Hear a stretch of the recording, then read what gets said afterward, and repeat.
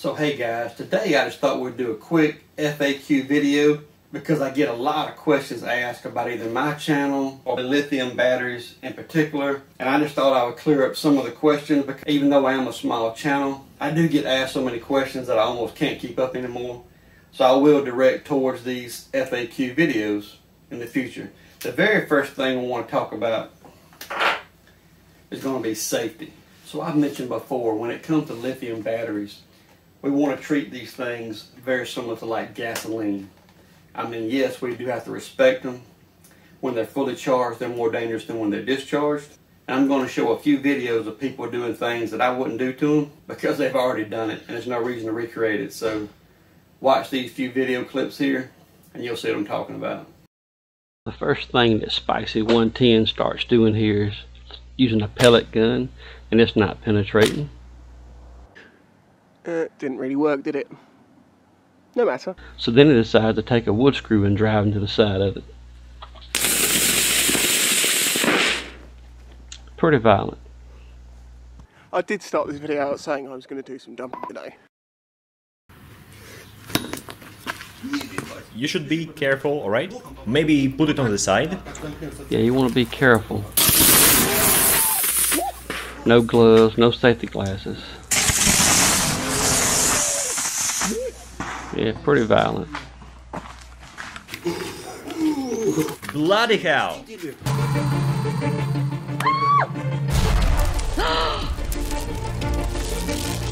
Oh my goodness. Can you, can you come? Yeah. Imagine this. Imagine this multiplied many, many times when it's all in a pack. Yeah, like maybe above your head in a big city bus. Yeah, a big pack like that. Yeah, that, that wouldn't have been pleasant no matter how it was mounted, but like I was saying, kind of like gasoline, I wouldn't want that above my head, and I sure wouldn't want a battery pack up there either. So the main takeaway here is whenever these things are fully charged, so they're the most energy dense, and we do not want to strike these or short them out in any kind of way. I have never had a bad experience with these lithiums. I had one that got hot on me and I took it outside and put it in sand. It did not catch on fire. But I do respect these and I absolutely believe in working on these when they're more discharged, discharged down to their lowest capacity before working on them. The next thing I want to talk about, I get asked a lot about where do I buy my cells from. So I do have sites like 18650batterystore.com that I do rely on for some cell replacements, but by far my best supply of cells comes from buying older cells or keeping older cells or before the pandemic you could even go to places like Home Depot or Lowe's in any type of recycling bin and you could get batteries out of there and save a lot of the 18650 cells. And yeah, a lot of them may not be good, but I'll show you going through here on my bench how I go through and, and do thoroughly test these cells for internal resistance as well as capacity. And that's a very important step. Now, since the pandemic, it seems to be harder to find, and I've even had comments that that's a lot harder to find now is recycled, um, like batteries in the recycling bin, and I agree. I've had I've had a lot less luck with that as well. But still, keeping old packs, packs that get recycled, or I have bought some non-working packs from people in lots, but um, they actually sometimes bring more than they're really worth because you don't know the condition of the cells. So, but that is the best way that I find exact match replacement cells. So we take this pack here for example. After I get through testing it, I would definitely make sure that I took it and discharge it all the way to about 2.7 volts per cell. And I would do it with something like this electronic load this battery capacity tester that I have and I've used multiple times in videos. It don't have to be just like this but something similar that can pull you know even high voltage things up to 100 volts it can actually hook to it and just be electronic load to pull it down to a cutoff level that you can actually control and set yourself. This is an example of a cell that did get hot on me but it didn't catch on fire and so while we're talking about safety as well this is half of a battery pack. I think this come out of a 4 amp hour Ego 56 volt battery and I have taken a lot of these spot welded tabs loose and I know this one is at zero volts. I know I showed this pack in a previous video actually being zero volts but I'm just trying to show here that if one is charged on you you have to be very careful when you're taking these tabs loose whether it's a screwdriver or one of my favorites here these with the flat tips. It gets in there and pull and wedges and pries pretty well. But you can just see here you don't want none of this to come across in different potential especially when the back side is connected as well which in this example I already have all the backside taken loose so there is no potential here on camera of this um, actually sparking or shorting out as well as the battery showing zero volts. Sometimes I'll even take an insulator like so and help pry you know whether it's with the pliers or a screwdriver and help you pull this off and there's even another danger to worry about with tabs, and that's how sharp these can be, kind of like a razor, and they can uh, they can cut you. So you might even want to wear gloves or be very careful when handling these tabs. And after we take the end caps loose, we can remove these individual cells now. And that's just one way to, to try to safely uh, take out some individual cells for testing.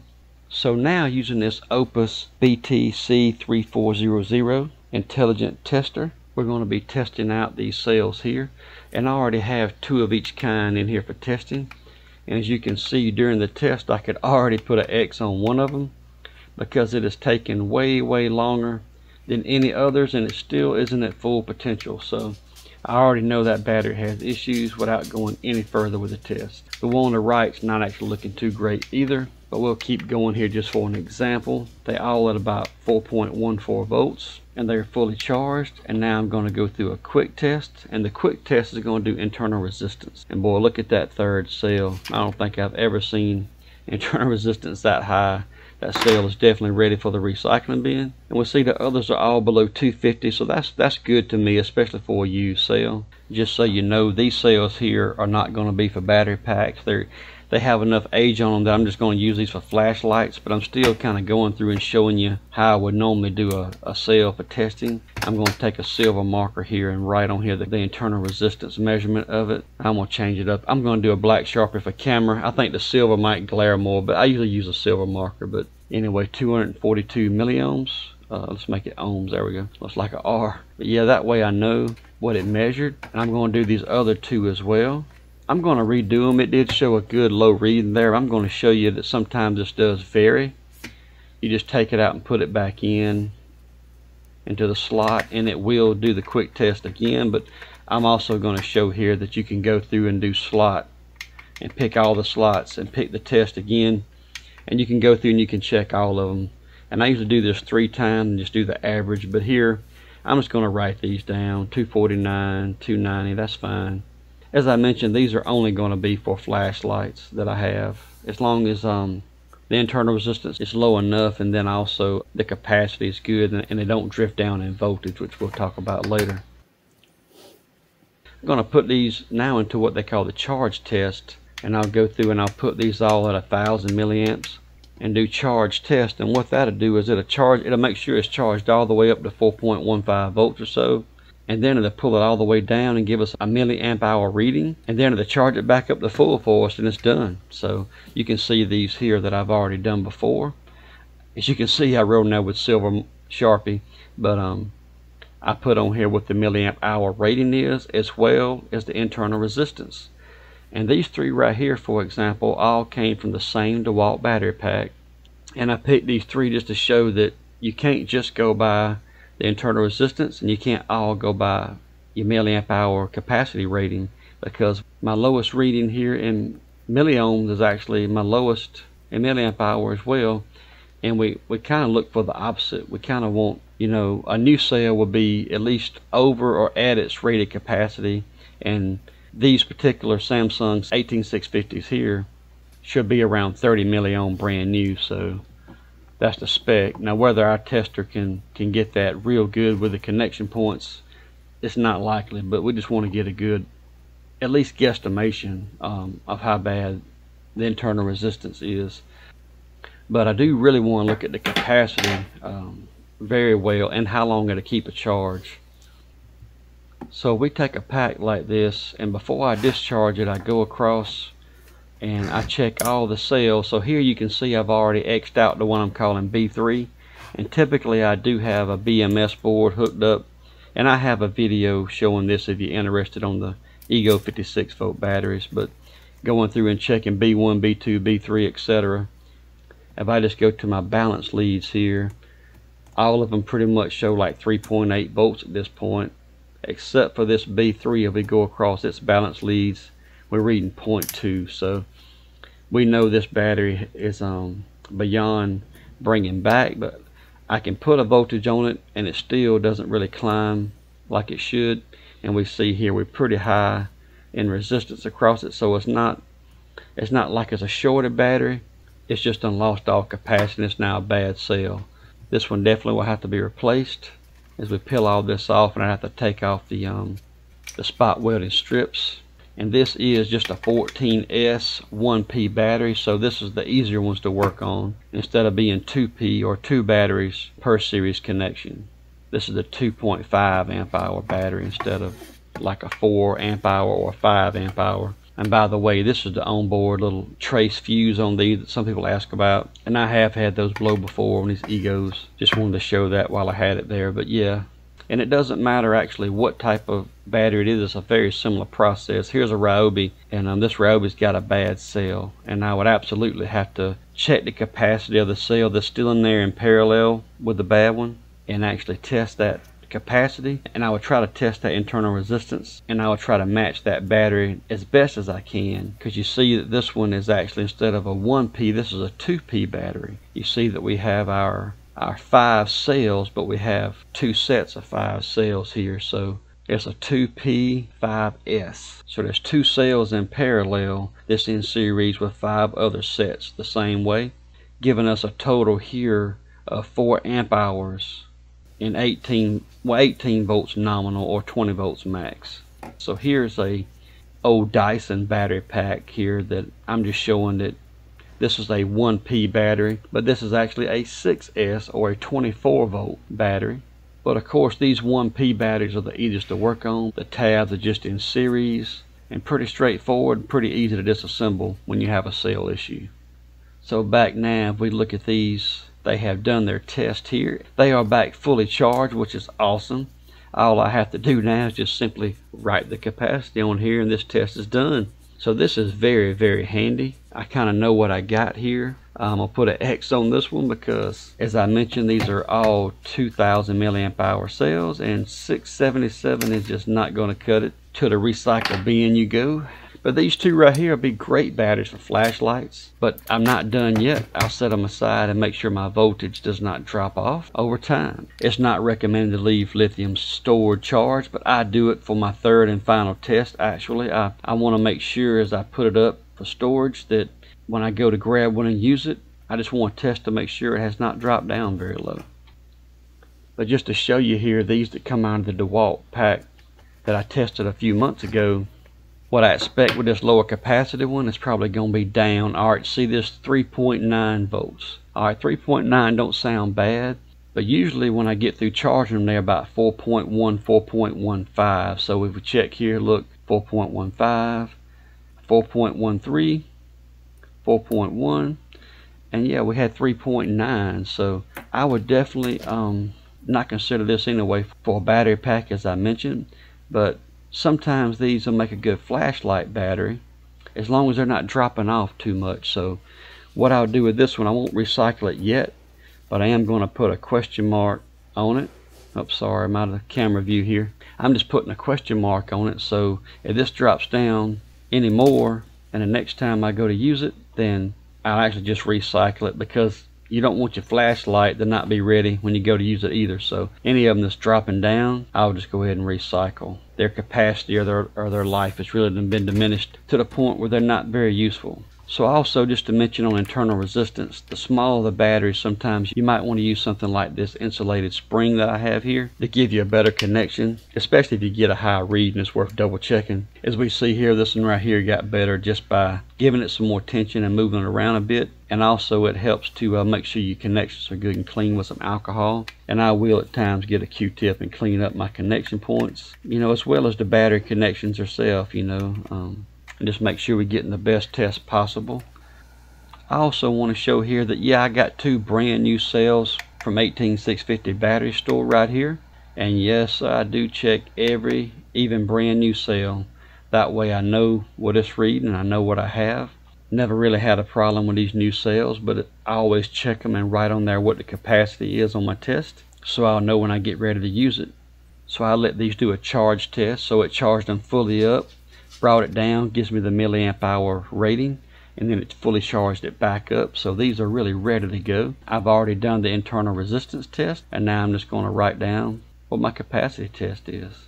And by the way, this older Ego cell here, just it did not perform well. It should be a 2000 milliamp hour out of a 4.0 amp hour pack.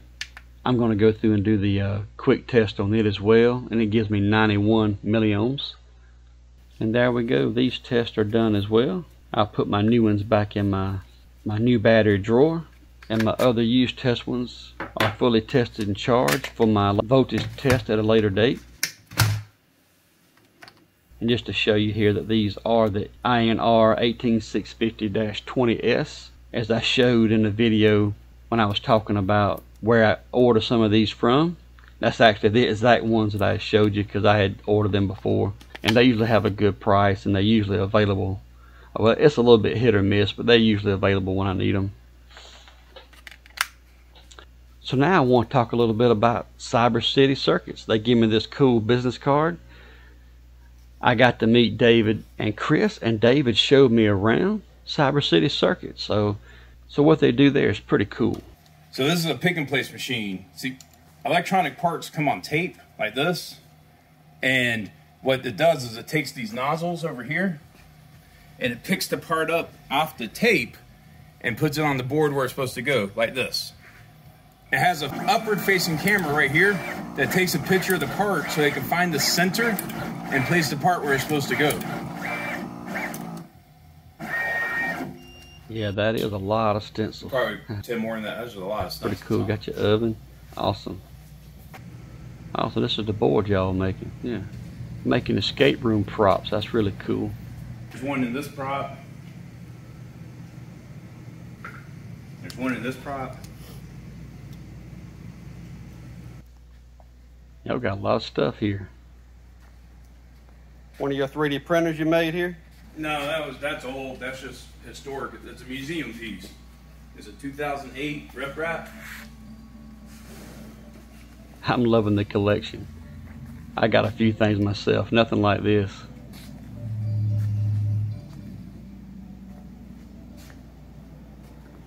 That's awesome. Now, Cyber City Circuits does great with teaching. They're a service connected disabled war veteran owned small business, and they're here in Augusta, Georgia. How awesome is that?